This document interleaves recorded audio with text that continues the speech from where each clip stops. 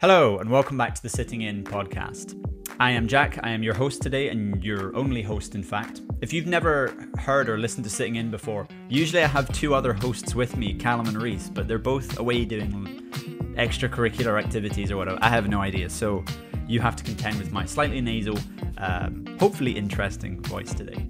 Before we start, I just want to say that I'm I'm already pretty caffeinated on the bean juice already. But if you'd like to support the podcast and support us in any kind of way, we have a link below for buy me a coffee, as well as our merch store. We can get these cool these cool uniforms, these cool outfits. We have we have all kinds of stuff, and we've got some new ideas for stuff as well. So keep an eye out for that. As well, if you want to share the podcast in any kind of way, that would be super beneficial to us as well. It really it really does help kind of drive audience engagement, and of course, we'd like to hear from you. So if you want to drop a comment below, if you, I don't know, want to comment on my resemblance to Paul McCartney, that's completely up to you, but do it in the comment section. So, without further ado, let's kick it off. So, this week I kind of asked for some questions and topics to look at um, just through Instagram, and I got a really interesting range of, of, of topics to kind of talk about. So, I'm a little bit nervous because I know that I'm, I'm sort of having a bit of a conversation with myself, but you know what? I'm, I'm taking it as it comes. So let's kick it off then. So the first question I got, or the first topic, should I say, that I got is counterpoint. Now this kind of seems something that uh, has followed me around for a while. It's something I've studied quite a lot, being a classical guitar player, um, and it seems like something that comes up in a lot of my lessons as well. It's, it's something that people kind of ask me. So for those that don't really know about counterpoint, counterpoint is really about two uh, melodies or two lines of music that, that converge into one, or that kind of talk to each other, if you like. I, I think of counterpoint really as like a as a conversation among uh, melodies in that kind of way. And like any good conversation, there is some kind of relation, whether that's in imitation or it's in um, kind of playing in parallel or whatever it may be. So counterpoint is really useful. Um, yeah, on this topic then, it's a funny one. So I was trying to think like, how should I take this? It's quite a, quite an interesting one. A lot of people hear of the word counterpoint or you know that sort of thing like contrapuntal music as well as another another term that's used and they often think about this music coming from like Bach and the Renaissance era, so back in like the 15, 1600s, so 17th century. Funny how that works. But they often kind of use that word to describe how a lot of the music back then was written. So when you're thinking about fugues and that sort of thing. But for me, it's always been about relating it to the music of now. And I think a really great parallel that you can draw from uh, a lot of the Baroque counterpoint music and the music of today is this idea that harmony can be created and, and simulated, I suppose, by how melodies move and how they change and how they're characterized by their relationships with other melodies as well. So yeah, it's an interesting one talking about counterpoint because there's such a there's such a massive world of, of what it really means. But yeah, for me it's um it's always been interesting looking at say two notes that sit side by side each other and how even just changing one of those notes changes the relationship between both of them. If you were to add in a third note, you add in another context, another character, as it were, or a motif. And again, yeah, that uh, that that overall kind of harmonic texture changes, and it's uh, it's really never ending. And for anybody that's never tried it, and specifically talking about guitar players, because we are we're known for being sort of very chordal or melody based, so one of the two really. Um, but I think for guitar players, there's a really kind of cool exercise that really got me going with counterpoint, was which is to take two melodies and try to hear them as both having starting points. So they are both beginning somewhere in a tune. So your let's say your top melody, you've got a top melody that sits maybe on E. Let's say we're in the key of C, and um, we could talk modally as well, as E is starting on E Phrygian. But really, I'm thinking about this more conceptually. I'm thinking about this top note of E starting my melodic line. So the way that I start of the way the way that I sort of kind of compose it and, and improvise it is by imagining that this this melody that starts on E starts to have a life of its own really. And what kind of happens below is we have let's say we have a let's say we have a melody on C because we're in the key of we're in the key of C. Now this melody on C might happen an octave below or two octaves below or whatever it may be. And so that melody on C is going to have a life of its own and it's going to move perhaps in the opposite direction. It might even move by different intervals. But when we start kind of thinking differently about how notes move instead of chords, it gets us into a new place with both improvising and thinking about. Um, I would kind of say like uh, melodic development as well. It's quite interesting to see. So you can vary things with rhythm, you can vary things with uh, note spacing as well. Uh, you can even add in kind of an extra note to characterize that sound that you're going for. But yeah, counterpoint is a really big subject as well. It's a, it's a lot of fun to really dig into, and it's cool to hear it in different iterations now as well.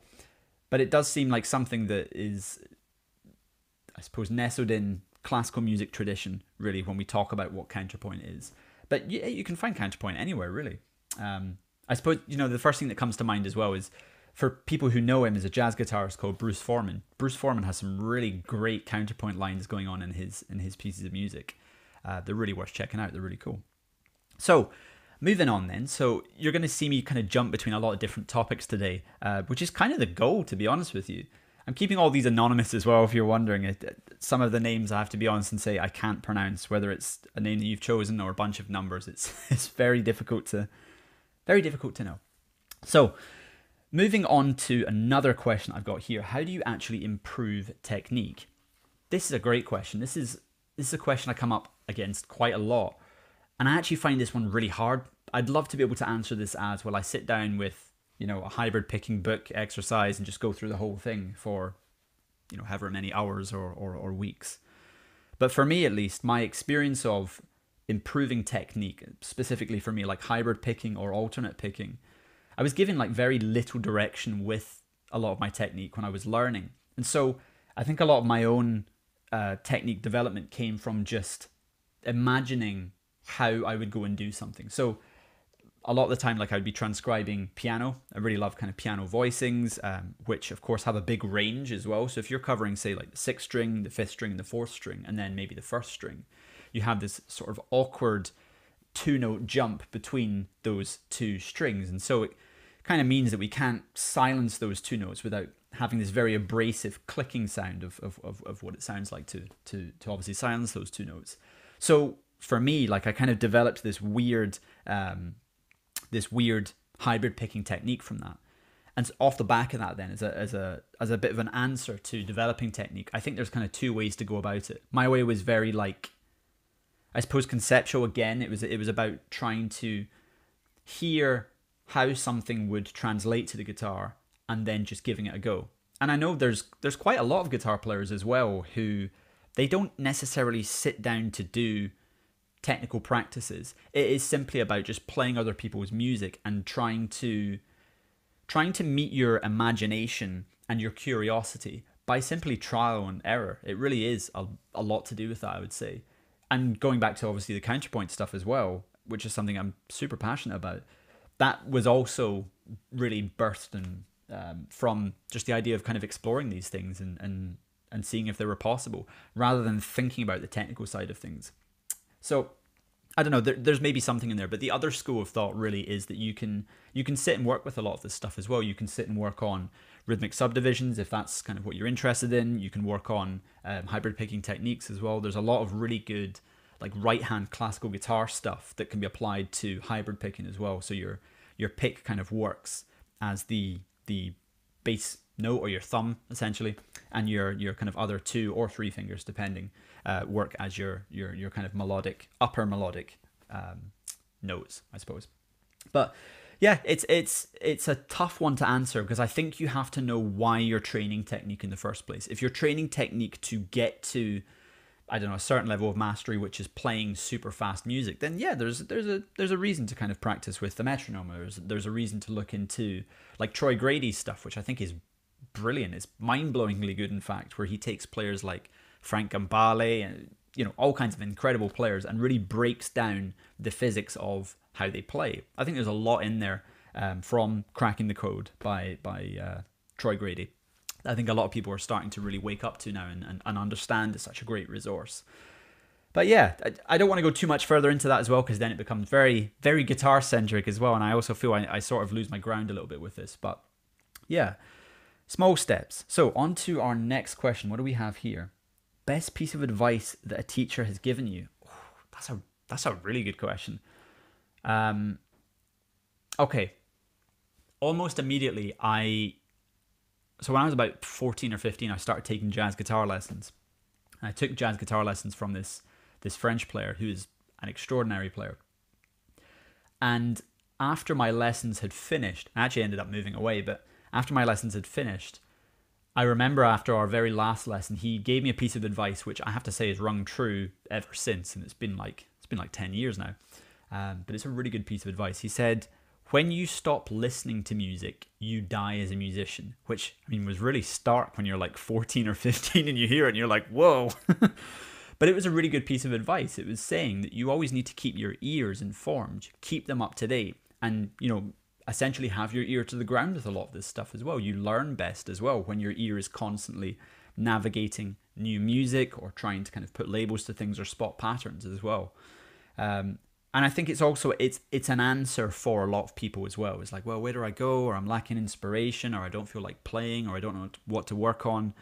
It's a really it's a really good piece of advice, which is go and listen to things, or go and educate your ear, or simply yeah, just listen to more. I think um, especially for something as complex as jazz or classical music, which really requires that active listening side of your ear, there can really never be enough listening. And in fact, it it it cultures your ear or, or educates, I should say, educates your your your ear to the music that you're trying to replicate or you're trying to to learn and that kind of thing as well. So it's always good to do as well. You never want to rest and and and be listening to the same stuff. You want to add something kind of new into the mix. So that would be the best piece of advice. But you know, I'm I'm also interested as well.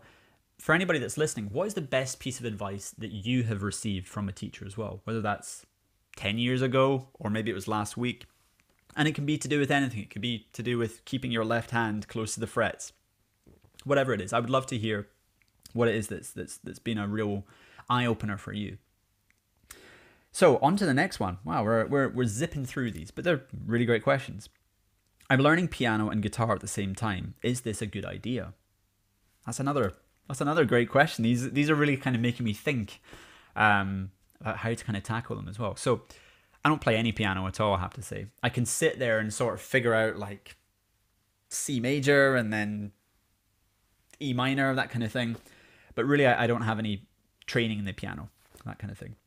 But my approach to the guitar, I would say, is very influenced by how the piano works, and I would say that especially for like uh, instrumental players who perhaps maybe play like the the trumpet you often see them pairing it with playing the piano some obviously play the guitar as well and it gives you this sort of best of both worlds scenario which is quite nice so i know that for example miles davis and dizzy gillespie were two horn players that both played the piano to some degree uh, I, i'm not sure they ever performed playing them but i know that behind the scenes from documentaries and that kind of thing, they always had another instrument sort of going in their in their backlog of things. It gives you a really good uh, or a different understanding of whether it's harmony or melody or rhythm as well. There's quite a few guitar players as well that have even just a basic handle on the drums, which is a really good thing. And what it teaches you as as a guitar player is really great as well. It teaches you about rhythm, how to feel things, how to sort of cordon off different areas of your ability to be able to um, to be able to think and yeah it, it, i think there's a big big side of that as well on the piano though i would say that that's that's something that i've kind of strived towards as well again i don't play any piano but conceptually the way that pianists typically use two hands equal in equal measure at least is kind of the way i've tried to approach the guitar with with having kind of both hands working in that way as well so i think it's a really great thing to be able to use both instruments as well um, but yeah you may end up coming up, up with some struggles. You might see some limitations for both of these instruments. Like I know that we've talked about this in past episodes with the limitations perhaps of the guitar or the limitations of the piano in terms of whether it's tonality or performance or simply taking it to a gig, whatever it is. But if perhaps you're looking for like more work as well in the future, you'll find that you'll get plenty more if people know you as as a multi instrumentalist as well there's some really great multi instrumentalists as well that they don't seem to have compromised on one instrument so that they can kind of service the other. They seem to be able to balance them quite well. So, yeah, as, as long as you can kind of do them both in equal measure and, and see that. I think what you do see with guitar players, especially, and I'm saying this kind of from the perspective of a piano player or any other kind of instrumentalist learning the guitar, is you see how many cost cutting cost cutting. That's not quite the way, quite the right word. Um, corner cutting. There we go. There's the word. Corner cutting mechanisms that we have on the instrument to really uh, help us either get through harmony, either with drop voicings or that sort of thing, or to do with range or or whatever it may be. But we we use a lot of funny little principles. And I draw this I draw this idea quite a lot of like when we look at the guitar just at the fretboard, it doesn't tell us anything about the theory. It doesn't tell us where the high notes are and the low notes are. It doesn't tell us where middle C is. It doesn't tell us what a semitone looks like. Uh, we obviously don't know anything about like the major third jump that happens between that that B and or G and B string. There we go. Funny morning, eh? So we don't really know a lot of that stuff just looking at the guitar. And so I think over time what's happened is a, you know, educational guitar culture or whatever you want to call it, the history of guitar education has always been about trying to define some um, cornerstones that really are, are, are cost. I keep saying cost cutting, but what I mean is corner cutting. There we go. Defining some cornerstones that are built on corner cutting, really. So whether that's like um, I think tablature is one of those things. It's really it's really great for being able to create our own notation system that's specific. Because of course, again, one thing that we can do is we can play the same note in a million different ways, or maybe five, maybe not a million. we can play the same note in five different ways in the same pitch register as well, and it can it can throw up some problems as well, especially for like sight reading musicians. So yeah, we do have a few corner cutting mechanisms that you start to see when you come from another place as a musician. Um, so yeah, it's a it's an interesting world to inhabit. But just as well, I think it's great to be able to think from the perspective of different musicians. I think that's that's that's ultimately kind of why we do what we do. It's it's about perspective building and being able to think creatively by changing our mind or thinking from other people's perspective as well. So it's really good. But on that topic, I would say that it's also really useful for you if you are a piano player, a trumpet player, a guitar player, to transcribe other instruments as well. Other instruments, and you notice this especially again, kind of going back into the jazz realm. You notice this so much when you transcribe horn lines. For guitar players, at least, it's really strange at first seeing that everything's built from arpeggios, which are generally not under our hands as guitar players that well. They're really awkward things for us to navigate, but you know, it teaches us about horn language and how it's built, uh, and that's really great to see as well. Uh, I think there's there's another great story of like Michael Brecker as well when he when he was trying to get a lot of he was a saxophone player I should mention. Michael Brecker was trying to get a lot of pop gigs as well to just to to be able to maintain a living really and just and live in New York early in his career.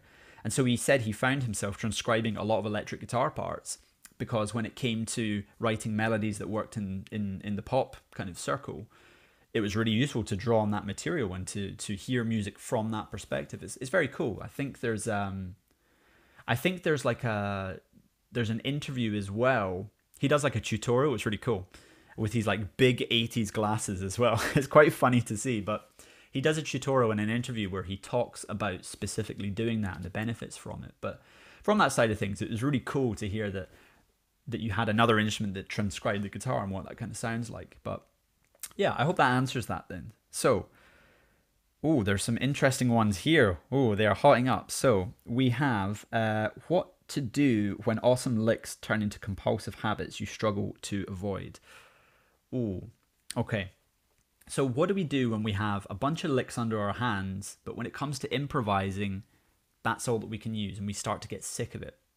Well, I talk about this a lot with with private students as well, and I find that it's often about being a little more meticulous with the material that you have. It's not that the material that you have is boring or that it sounds, you know, drawn out or whatever it is. It may be that we only have kind of one way of thinking of it right now. So I know a lot of people kind of use like uh, I can't remember what the phrase is. It's like where you take a cell and then you change every other note in that cell until your cell becomes basically a brand new cell but being a bit more meticulous and being a bit more curious with the material that you have. So my advice would be take just one of those lines that you have, one of those licks, whatever it may be. And you could do a few things with it. For for one, you could you could um, you could see what that line would sound like if you played it a quaver later or an eighth note later basically and keep pushing along a bar until it's kind of two quavers later, it's three quavers later, it's happening on, you know, the one, the and of one, two, the and of two. And so the emphasis of that line sort of changes as well. That allows you to at least hear that one idea rhythmically from a different place because you're highlighting it uh, fr- from a different kind of perspective as well, which which may be one um, answer for you. Another thing as well, I, I do this quite a lot. I think it's a really it's a really interesting way to expand the language and also the usage of your line. Take a line that you've got, just a simple line, and this is a harmonic idea. Take that line and see if you can apply it. Let's say your line right now is in G major. It's a line that you have in G major. Um, I'm not going to sing it either because I'm not warmed up. I'm none of those things right now. So if you took your line in G major, what would that sound like in G Dorian? What notes would you have to change? What happens if the chord changes and you were to try to use that same line? And then the same is true for applying it to G Phrygian as well. If you were to rearrange some of the notes there, how would that same same line work? And sometimes it can be about changing one note. Sometimes it could be about changing two or three notes to really make it fit. And do the same thing for Lydian and Mixolydian and etc. into Aeolian and Locrian as well. And what you should come out with is hopefully if your line is diverse enough in note content, you'll you'll find that the lines that you have that start in G major, you you end up with maybe like seven different lines, which is quite interesting as well. So taking a modal approach to lines as well by just changing notes at a time is a really good way to to think of it. There are obviously a whole slew of other ideas that you can use to even just mix up those lines that you have as well. You could use octave displacement. You could put kind of simple where you would normally have a note, put a pause in there. Um, you could try and kind of change up the rhythm to those things as well.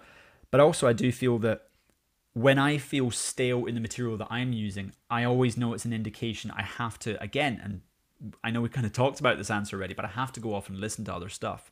I have to either go and transcribe a line that I'm interested in, just sit with it for a few days, and then try to create something else out of it, try to use that material and factor into my playing as well. But yeah, it's quite easy for us to drift into compulsive habits. And there is something in this as well that, like, compulsive habits or lines that feel like compulsive habits, they can feel like a bad thing. Immediately we go, oh man, I'm just recycling the same, same material. But there is also another side to that as well. There's a side to that that says perhaps you're actually clued up and comfortable with the material that you have and that it's not compulsive or boring or whatever it is, then actually you're really comfortable with using it. And so the next step is actually not to say I've mastered it and move on to something new. It's to say, great, I I know it in its current form, but how can I change it and continue to manipulate one piece of of of, of language or a phrase into more information? And so I, I often do this as well. I don't have it handy, but I have like a little black book that I use. I transcribe little lines that I work on. And yeah, I change up rhythms for them. I change up the general feel of them, the architecture of them as well. And it keeps me really busy. I've been doing it with uh, the, the diminished scale recently, working on some cells for that as well. So just kind of shifting things each time. And it, it gives you some really cool ideas to, to, work with. And what you find as well, like the more meticulous that you work with, with the material that you have, I tend to find that that spills over to everything else that you look at. So I found that when I started to like 12 key my lines, for example, I started to want to 12 key tunes as well, and then try to 12 key whether it's bebop heads as well. Or how can I understand Donna Lee or Stomping at the Savoy, whatever it is, in a different key? What if it's in D flat, or what if it's in F, or or whatever? So you'll find that that meticulous nature, when applied to one thing, will often kind of bunny hop into the other areas of music that you're interested in as well. It's quite it's quite fun that way. And often, you know, you realize, wow, the world of music just got so much bigger. There's so much else to work on. So, on that, I would say dig into your curiosities a little bit more. See what else you can do with that one line. I hope that's helpful. So, on to the final few questions. What have we got here? Ooh, what are your musical hot takes? So, okay, so I actually had to make some notes on this one. um, I'm not going to go into a big diatribe or complain about anything Of course not. But musical hot takes. I think this is um this is a funny one. I'm I should say as well. I'm speaking on behalf of me for this as well. So these are just my personal hot takes that I find um are true, I suppose, to me. Uh, but I'll, I've I've noted down three here, and perhaps you know if you disagree with them, tell me why you disagree with them. I want to know. Put them in the comments um, at me. so, my first musical hot take, uh, cue like the fire emoji, my first musical hot take is that there is a there's a branch of people who they specifically stay away from music theory. I heard Josh Smith talking about this. It's from an older video of his. It's it's really cool as well. If you don't know Josh Smith, really great blues guitarist who seems to kind of dive into all sorts of music like Motown, bits of jazz as well, some really cool stuff. But I heard him address this and I thought, yeah, I think I agree with that. And the general the general idea is that there's a group of musicians that really they stay away from this idea of going down the theory rabbit hole or learning any theory at all. And it's the fear that if your ear is too educated or it's too kind of clued up on theory, that it stops you being inherently creative. Now, that's a bit of a pet peeve of mine because I know, again, even just having given the answer that I'd, I'd given about kind of changing one line, I know that when you start to learn pieces of music theory, it can be really, really useful for giving yourself new ideas. Of course, the premise always exists, and this is why there's two sides to the coin. Your ear always wants to lead where, you, where it is you want to go, whether that's from an improvisational standpoint or you know composition. Of course, your ear always wants to guide where you want to go. But I would say that you rarely struggle with a problem or a roadblock when you have more information.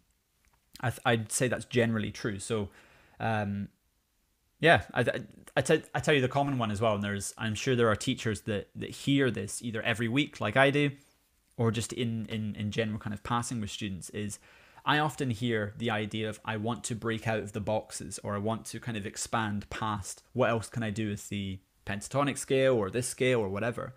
That's the general premise that a lot of students who become curious then about, you know, playing different styles of music, that's how they frame it, which is I want to break outside of this box. And it's not to say that um, there are certain people who want to remain in the box, but it is, I think, to say that when you become curious about more sophisticated music that, that uses that uses perhaps its harmony or its melody or its rhythm in a different way, I always think it's worth digging into because you really don't understand when you open up the door to all of that stuff, man it gets so much bigger the world of music and there's there's so much more to dig into as well. So that would be my first hot take. Um, again let me know if you disagree with it. If you do that's that's fine. I want to hear from you though. Put some in the comments section. Call me out. Um, okay so my next musical hot take. Oof is going to touch some nerves. Um, i think there are too many educators on youtube that are concerned with clickbait content and their approach to quality education is inherently dishonest. So this is something that I've thought about this one for quite a while. And again, it's something I hear from a lot of students and they share with me stuff that they're learning from. Again, I'm not I'm not going to call out any names or channels or anything like that. But when I go to watch stuff, I get a really I get this kind of like feeling of of of watching um, an educational content, whether it's a guitar lesson or it's a theory lesson or whatever it is. And I can see that the entire lesson is designed to just be skin deep. It's designed to give you just a small, small modicum of something, um, but it's, that it's not really useful at the end of the day. I think there's too much clickbaiting um, that's really used to kind of bolster people's channels and their and their presence online. But when you actually dig into the material that they're saying, again, this could just be me because I like being meticulous. I like being detailed in things. But I quickly find that you can lead students down a rabbit hole of actually complete confusion if you don't if you don't truly take um, time to really break down a subject. I think I think that's quite a big one as well. Uh, but I don't know. For me, at least, it's something that I see quite a lot. There's such a volume and a, and a surplus of information out there at the moment that I don't know. I think you you are going to have bad quality education in there as well. Um, but yeah, that's my hot take. So my final hot take then is Higher education is rarely a good reflection of how the music industry or how the music scene works. You might be listening to this either coming off the back of higher education, whether that's this year, 10 years ago, whatever, or perhaps you might be hearing this just going into higher education music. I again I am I am framing this as my own opinion. This is just what I think. Um, I would say that yeah, music the music scene is very very different to how music is taught. And I think there's always look, this is always the case whenever you create a syllabus. It's like it's always going to be slightly outdated from what's happening in the present because you're creating something that hopefully, you know, that you can use for a year, two years, five years. And in that time, music changes, education changes, the scene changes, you know, whatever it is, the industry changes. And I think to a large part, there are a lot of musicians that come out and feel um, they feel that they're very highly skilled musicians, but they feel that the music scene doesn't interact with the way that they maybe were told that it interacts or they find it difficult to find work that's not within the circles that they that they that they work in um, yeah, I, I, I don't want to go too much further into it because I know that it could launch into quite a big, um, quite a big kind of topic. But it's something that we've talked about very loosely as well on on sitting in before. You'll find this like a few episodes back talking about is it worth going to music school? I believe. Um, there are great things. Don't get me wrong. There's great things about music school. You meet all these interesting people, creative people. You meet some really great tutors as well. You get the opportunity to really expand. Um, but I think when it comes to like the business side of things as well and setting up as a uh, as a business because that's what every musician unfortunately is. That's we don't work for free. it's what we do. So there isn't a whole lot of information there, I would say. Um, and then when it comes to kind of creating contacts and that sort of thing, you realize actually that the importance of shedding is yeah, it's very important, sure, but the importance of shedding good relationships, as it were, or like you know trying to meet people, network, that sort of thing. That's a really important um, skill to also have. So, on to then the final question. Um, I need to remind myself to like take a big breath as well, because I've been now talking for like 30 minutes continuously. But hopefully, this is enjoyable so far. I'm having a lot of fun. So, the final question I have here is I've moved to Edinburgh, lost all of my musical connections and gigs, and had to get a normal job. Any advice? Well, first I would say that I think I think Edinburgh's got a great music scene. But it really depends what it is that you're looking for. Are you looking to be a musician? Are you looking to sack in your regular nine to five job? Are you, you know, are you really serious about doing it? Because if you're not, it's fine as well. Thinking about this one, I think the answer is always networking with this. I know I've kind of just said that in a previous answer, but I think the answer is always networking. When I moved up to the Midlands after studying in London, I was actually in a very similar situation of being like, what do I do? How do I create work? How do I create connections? How do I do any of this? And I would say I think the the first thing that you can do really is is reach out to people that you hear, whether it's like pub bands or whether it's people conservatoires and music schools near you, events, that kind of thing, and get to know people. Find them on Facebook. Probably don't stalk them or Instagram or whatever. Create connections that way as well. I think what you find is is just generally true with with creative circles is that I would say it's actually pretty easy to break into creative circles. It's really just about being there, showing your support for music, for a scene, for a jam, whatever it is, and just working your way slowly there. I think the general truth of like the more that people see you, the more that you start to become kind of the furniture of the scene, which is, you know, it's a good thing to be as well. So I did things like um, I took lessons with people, I took lessons with um, players around here, uh, teachers that I knew were already established well before me, all kinds of things. I, I reached out to people to hang, you know, whatever it is, or just kind of bounce ideas off as well. And from that, I think you start to get an understanding of music being kind of a community in that way. So I would say, yeah, just step by step, go out and meet people, try to try to yeah gather some gather some experience that way as well. But if you're somebody that's um, that's already musical and you've got experience of gigs and that sort of thing as well, I think it's always worth trying to almost start music as a bit of a side hustle until it becomes your your main your main uh, your main kind of income, as it were. So yeah, I would say advertise yourself. Let it be known that you're somebody with musical connections or or whatever it is. You know, utilize those things as well. Set up, get get online, get talking to people, make sure that people know your name. And I think what happens is throughout uh, throughout enough time, people just start to realize that yeah, you you, you live here, you you're in the scene, you support the music, whatever it is you know it's really it's really good to do so the answer is always yeah build community from from wherever you can ground up. And i think you'll find it kind of works out for you that way as well. But yeah edinburgh is a really great scene. And it's it's kind of frustrating kind of not living in edinburgh because my two other hosts Rhys and callum obviously they live in edinburgh. They are um edinburghers. I hope that's the right term. It sounds like the right term. And it's a really good term if it is. But i'm sure you know if you if you wanted to reach out to them i'm sure that they could give you a lot more um, advice as well, just about finding your feet with the scene as well. But yeah. Anyway, I have been running now for just over half an hour, but I am going to wrap it up. And I just want to say, yeah, if you are if you are still with me at this point in the uh, in, in in the episode, then thank you. Yeah, thank you for being with me. It's been really interesting to do this. Um, it's been a really fun experience as well.